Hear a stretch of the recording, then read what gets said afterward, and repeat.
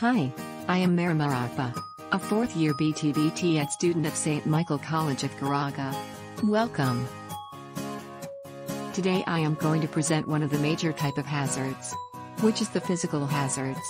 What is physical hazards? Physical hazards are environmental factors that can harm an employee without necessarily touching them,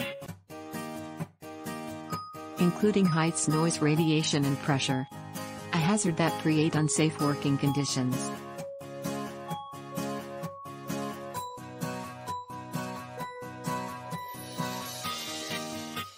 Physical hazards can be found in any of the workplaces, like for example in the kitchen, construction area, and in the industry factories etc.